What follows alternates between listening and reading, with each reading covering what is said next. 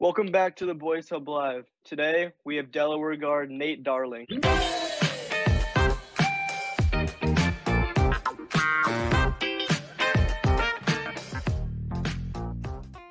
Nate, how are you? Good. Thanks for having me, boys. Of course. For sure. For. I'm Evan. I'm Noah. I'm Alex. Today we're going to talk some basketball and ask some questions. Okay, starting off, when's the first time you can remember picking up a basketball? Um, I wouldn't remember this, but there's a picture of me, probably like one or two, in like a Larry Bird jersey, holding the holding the basketball. So I guess that's probably the, the first time. When do you? Uh, when, how old were you when you like kind of started to realize that like you can do this eh, for your future, play basketball? Um, around like ten or eleven, I kind of like I didn't realize that this like I was good enough to do it, but I, I kind of made the choice that um, you know, I want to stick with basketball. I, want to do this, and I kind of like turned into this crazy work ethic at, at a young age, and just like dedicated to that. But around like I think like probably 14, 15, 16, I started to really believe like you know I could be like one of the best shooters like in the world for my age group. So I have a chance to to do something cool with this. Yeah. Uh, so how have you been keeping yourself busy during quarantine? It's been tough, but uh, just you know, working out. I got uh, my strength coach give me some weights. Uh, I got a half court, like outdoor court by my house. I've just been hooping at, and just trying to stay in shape. Uh, I don't really like running on pavement and stuff, so I try to do as much of different stuff conditioning wise, other than just like straight up running a mile or so. But I just try to have fun with it. You know, I have my girlfriend and I live together, so we just hanging out, watching movies. You know. Yeah. What you been watching? Uh, we actually just started Riverdale. I know it's kind of like old, but we just started. And I'm I'm really into it. It's kind of like just I don't know. It's, it's kind of lame, I guess, but it's it's good stuff. All right. So, how did it feel to win gold in the FIBA Under 19 World Cup with Uh, Canada? I mean, yeah, that was just a, a surreal experience for sure. Um, it was the first gold in Canada basketball's history, like any like level or whatever. So it was a big win for the whole like country. And I mean, I don't know, we weren't supposed to do it. We had guys who who went to school instead of playing with us that were like high level guys that are in the league right now. So we were kind of like undermatched. We didn't have our full squad, and you know, we just came to cool experience, cool feeling. We were in Egypt too, and Egypt was kind of in like a, a crisis, so the security was high. So it was just it was all around just a, a unique life experience, and I'll never forget it. yeah, that's super cool. Uh, how would you describe the experience of playing with big names such as Markelle Fultz and RJ Barrett? Uh, I mean, I'm like, for me, they're, those are just teammates. You know, um, they're like my friends, guys. You know, in the basketball world, you know, we're all we're all just guys playing against each other. But to to to to say I played against you know number one pick and number three pick, or was RJ number was he number three? RJ was number three, yeah.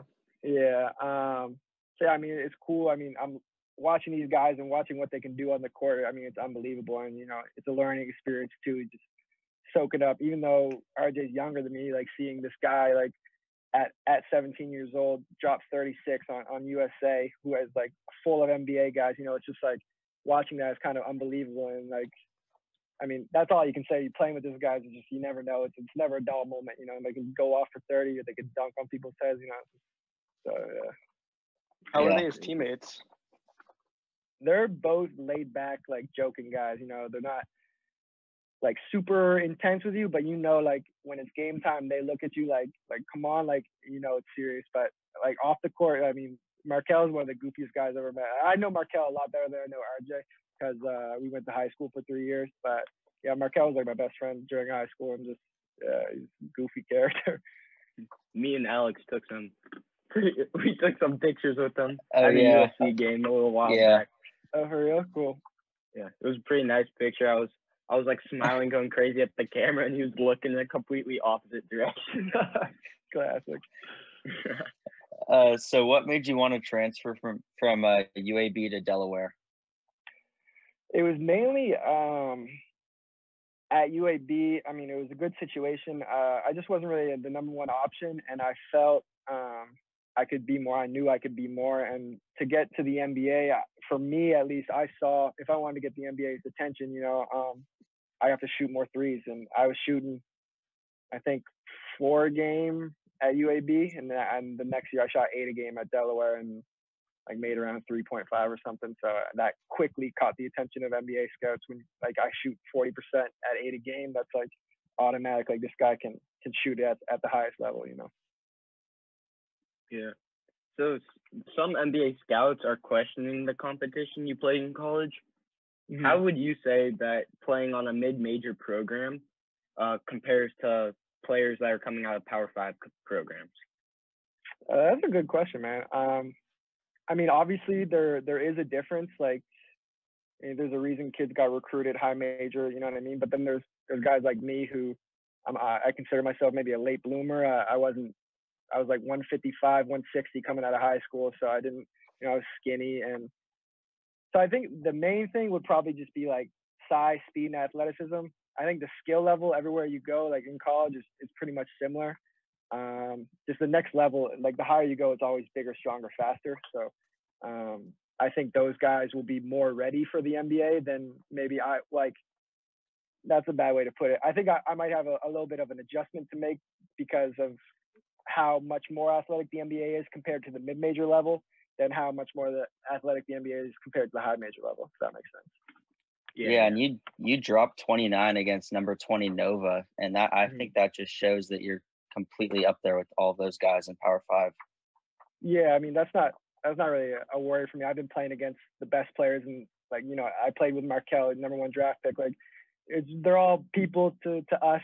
I know people like to say, "Oh, he's going up big bad Villanova," you know, but it's just another game, and I had to do what I had to do, and unfortunately, we didn't win. But it's just basketball at the end of the day, and I I don't like that people like to say.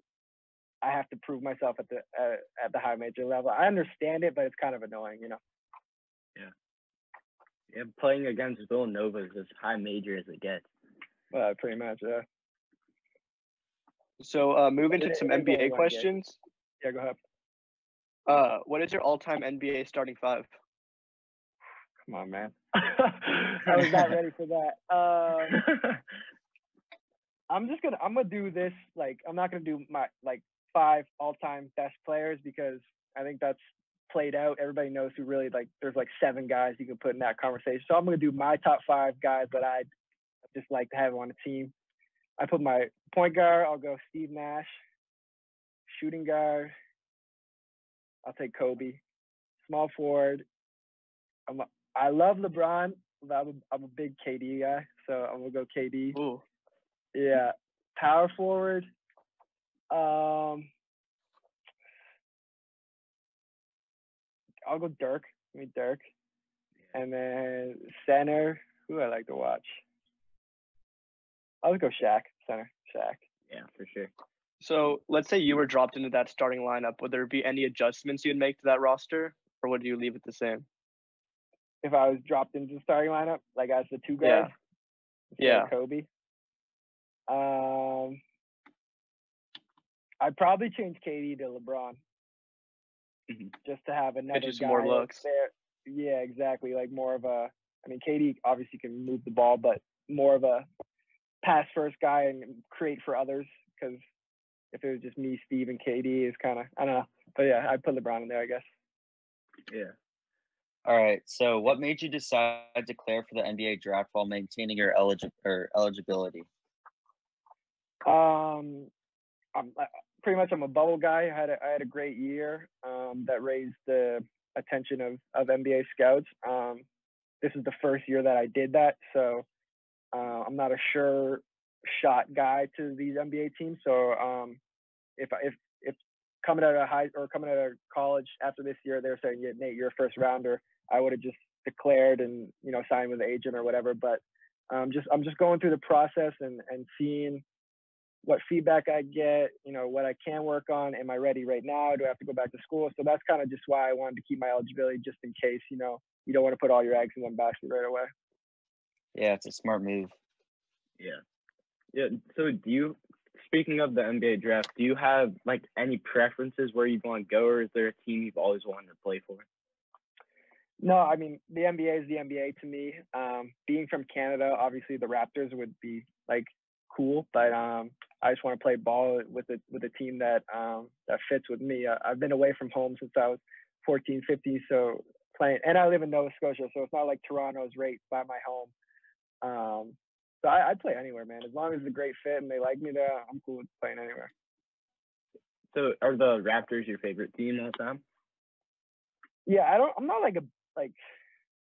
I I was I was happy that they won the championship. I don't really cheer for like a, a team.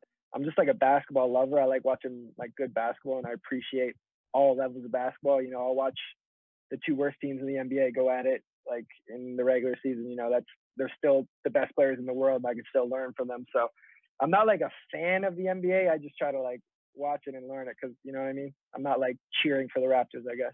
Well, maybe I am Yeah. like at heart, but I just want to see good basketball. Yeah. Do you have a favorite team to watch? Favorite team to watch, probably the Warriors. Wow, or the Warriors like prime Warriors. You know, with KD and Steph and Clay when they're all just just the way they move the ball and play off each other. It's just so fun. It's just pure basketball. Yeah, especially being a shooter like you are, watching Steph and Well, exactly. I feel that's my type of game. I'd love to to fit into something like that. You know. Mhm. Yeah. So, uh, talking about the draft, Wesley Brown, a Canadian basketball scout, said that you're probably going to just be a shooter at the next level. So, Mhm. what else do you think your game brings to the table? Uh, I'm definitely um, an all-around player. Um, as you can see at Delaware, I mean, I shot, I hit four threes a game, but I also like hit four or five regular shots a game. So I, I have a nice little mid range. Um, I'm a big creator off the ball screen. I feel like I, I know the game well. I can read the game well. Um, but but definitely my my main strength at the, at the next level will be my shooting until I I adjust and come into my own. Um, because in the NBA, you know, you have to have a skill that is that is elite to get there. So my my shooting skill is my elite skill, and I definitely have a bunch of other stuff too. But to, I'm definitely going to try to bring that up and, and bring it to par so I can be an all around player in the NBA. yeah. What do you think you need to work on the most?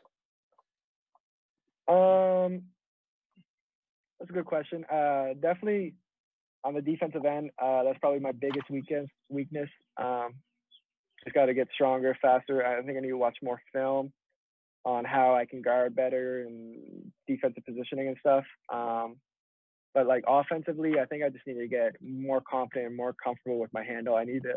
I get a little loose with it sometimes. I just need to feel like it's always on a string 100% of the time. Um, I think once I get there, that will really take my game to the next step.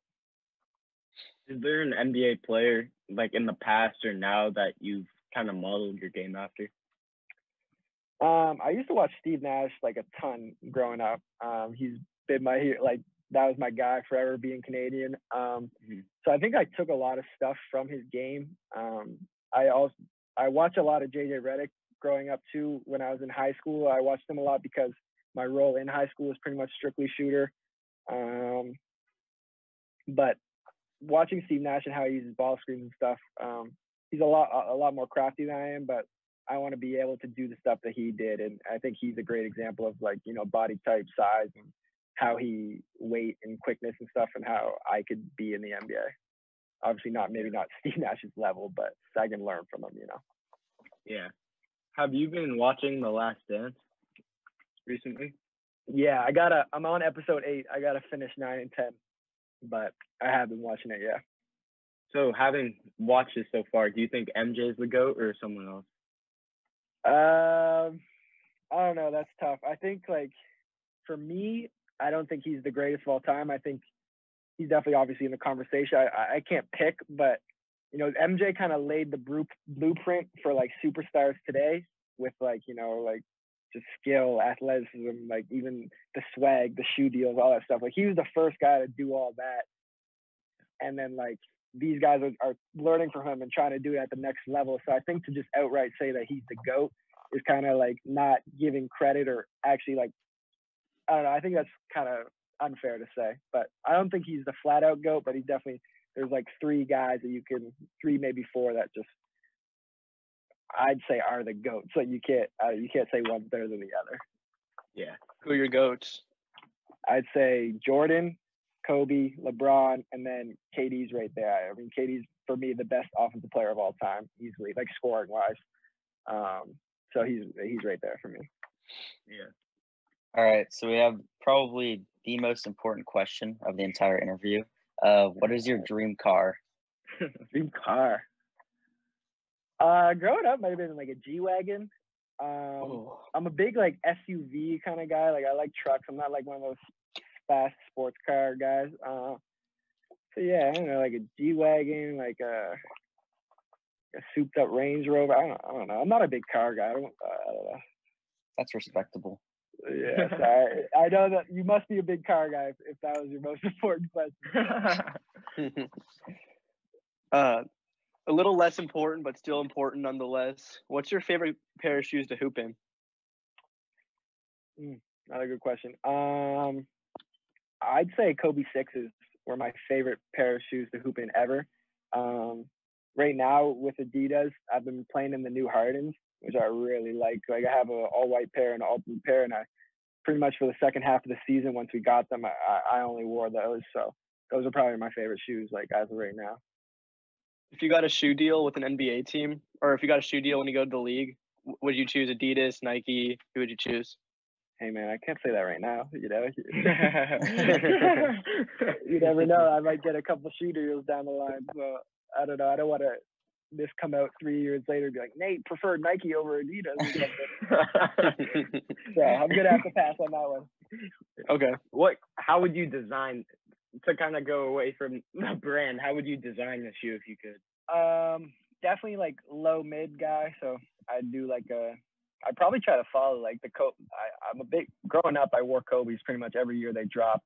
So because he always went with the low cut until he obviously tore his Achilles. Then he went then when he went high, and that's kind of when I stopped. So maybe I'd try to do similar something style that Kobe had. Yeah.